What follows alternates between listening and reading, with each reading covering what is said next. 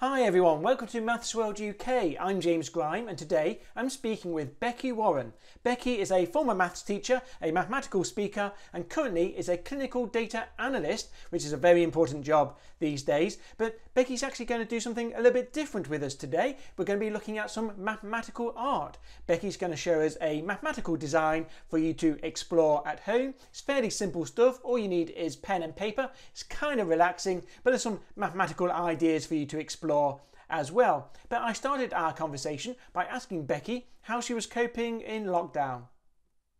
Uh, okay, actually, yeah. I mean, I've been keeping myself busy, um, doing lots of things at home, which is, you know, the norm these days. And uh, one of the things that's been keeping me going has been like some mathematical art, which is, you know. Yes. I've noticed you've been doing mathematical art. Is this something that you've developed a new interest in during lockdown, or was this something you always did? I've I've always been quite interested in it, um, but you know, like normal times, I just never had enough time to do it. There's always too many other things out of the house to do. But this has been a really great opportunity to, you know, really focus on it, spend some time on it, and and it's yeah, it's distracted me from all the other things, which is great. And uh, I believe you're going to show us some of your art today. Is that right? Yeah, absolutely. Yeah, I've got something in mind to share with you. So are you going to teach me how to do some mathematical art? Yeah, if that's okay. Yeah, I was going to. All right. Okay. So what do I need? So to do this, I, I thought I would go for something quite simple uh, with a few items that we need today. So um, a pen and a piece of paper. And if you've got it, squared paper would be good. What we're going to be doing is we're going to be looking at um, a kind of tessellation. Um, and it's one of my favorite ones. It's, uh, we use a shape. Actually, I'm gonna, I'm gonna, I'm gonna show you what we're gonna use. So um, we're going to use the um, L-shaped triomino. So here, um, it's just basically, you know, an L shape made up of, of three squares. So it just looks like that. So that's the shape we're going to tessellate. And I love it because it tessellates in so many different ways. Um, so what we could do is we could just, you know, slot two of these together um, and make a rectangle and um, tessellate that one quite easily. That'll be easy to tessellate the whole plane with and infinitely. Um, but actually, it's really beautiful because it actually tessellates in other ways as well. So um, we're going to look at some of the other ways today. So would you like to draw for me a uh, an L-shaped? We're going to call them an L-shaped triomino because it's like a domino, but with three made of three squares, so a triomino. So that's your basic tile shape. So just draw me one of those first. Okay, I've done that. And now what we're going to do is we're going to draw one that's twice the size. So to draw my first um, L, it was, uh, you know, one square, one square, one square, one square, and then two squares, two squares. So I'm going to draw one that's twice the size. So it goes two squares across, two, two, two, and then back to the beginning, so four, four. So I've got this L that's twice as big. I'm going to copy you and uh, do the same. Now, the fun bit here is we can tile this larger one with four smaller ones. Hmm. So we can fit four of the smaller shapes inside the larger one. So that's the first mathematical challenge. Do you think you can figure that one out? I think I can figure this one out. I think I can. So I try it then. Yes, please. Okay. So I think, I mean, yeah, I think I've got it. Okay, so I'll show the camera my my solution. Oh, yeah, lovely. That's a good one. Yeah, yes, yeah. absolutely. So um, so we kind of have, you know, one in the middle there, and then we've got three round the edge. Okay, so this piece this piece of maths art that we're going to we're going to do today is based entirely on this kind of of um, tiling. So what actually happens is that we can tile any enlargement, any integer sized enlargement of this L with the original L shape. We call this a rep-tile, so we can repeat and tile larger versions of itself. And there's plenty of shapes that can do that, but this is one of my faves. So to create the, um, the design, I'm going to start on a new piece of paper because I'm going to start right up in the corner so we can see how big we can get. And um, I start with 1L. So here's my 1L here. Okay, and then what I'm going to do is I'm going to draw that double-sized L that we just practiced next to it. Well, so in, in round the edge of it. So here, I've got my double-sized L. And I'm going to divide that up into the small L shapes.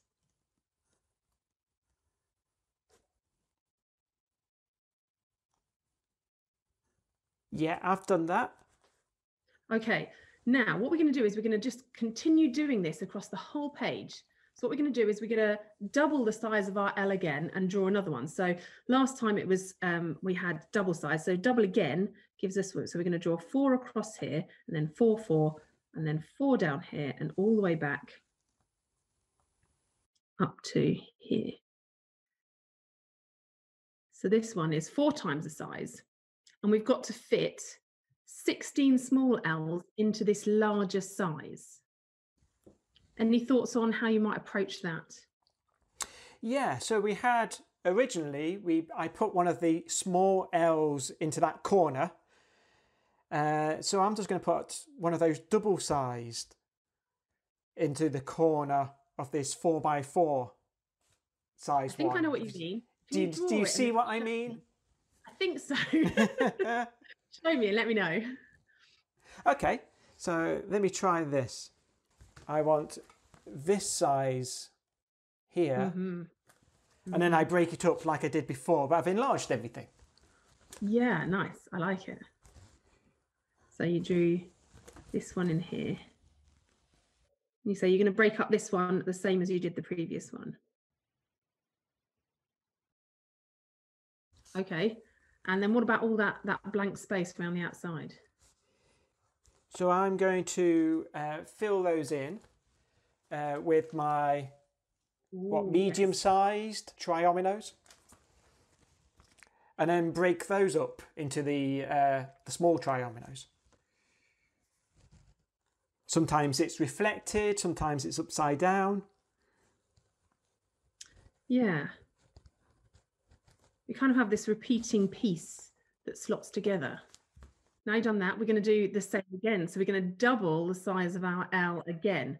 So my last one was four across the top. So now I've got to make sure it goes eight across the top.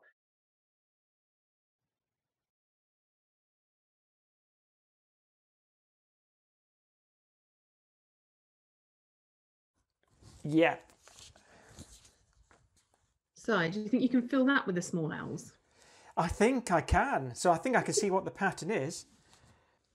So yeah, so basically this is the concept, this is the structure of all the future designs we're gonna we're gonna do with this. So yeah, so we fill it up with the L's the size down, and then we fill those up with the ones smaller, and then we fill those ones up with even smaller ones until we get down to our original size. So I like this as a as a doodle. So just kind of, you know, have a little doodle, have a little play, explore. This is very relaxing. It's nice, isn't it?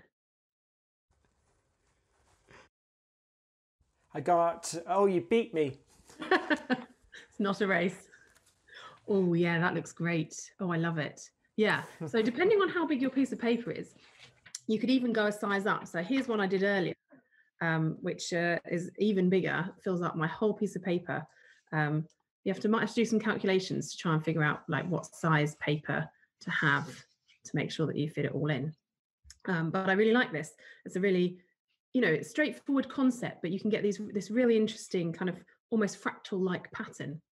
Um, and then, you know, once you've once you're happy with the pattern, there are different ways of um, of moving forward with it. So, for example, um, I quite had some um, I had quite a lot of fun uh, colouring in uh, different patterns. So here we go. We're back to the the slightly smaller size, but um, I chose to highlight different aspects of the structure um, within these different um, these different colorings. This coloring on the left here, I um, I managed to find a coloring such that you only needed three colors to color it, and none of the colors touched themselves.